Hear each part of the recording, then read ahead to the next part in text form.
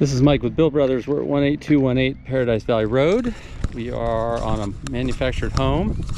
We're looking at an asphalt shingle roof um, that also has torch down on it. Uh, the house is under construction. Um, Steve, the, the owner of it, he's doing uh, a bunch of work inside, but he wants to have the roof done. Um, straight out of the gates, obviously it's an old roof. It's an architectural style. He's got ripped up shingles, all the granule, heavy granule loss all the way throughout. Um, it looks to be one layer. Um, I can see some flashing, so potentially it is just one layer. Um, there is this middle zone which has torch on it, this middle dip. Uh, again, there is some ponding areas here.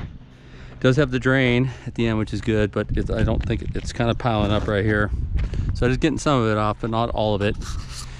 Uh, there are four skylights right here. These two by fours here and over there. He wants removed completely get rid of them so we'd have to resheet underneath there.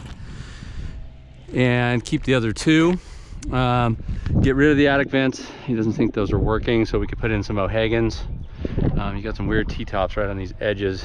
Actually all those pipes right there. But again reflash. Uh, we'd have to retorch this whole area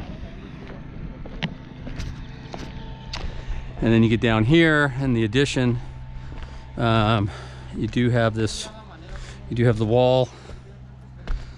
And you've got torch underneath.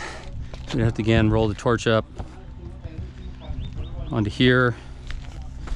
Big gaps in that torch right there. Yeah I mean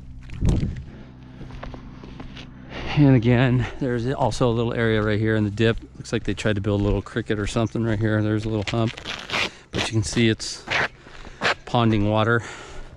There's a drain over here, which is completely clogged, so that, it's completely useless at the moment. Um, he is going to do the fascia himself, so all around the house, he's going to have his guy, his team redo all the fascia before the roofing gets done, so we can put the drip edge all the way around and get rid of that whirlybird and add an uh, O'Hagin vents but we will talk about uh, what the options are. And that's my roofing report.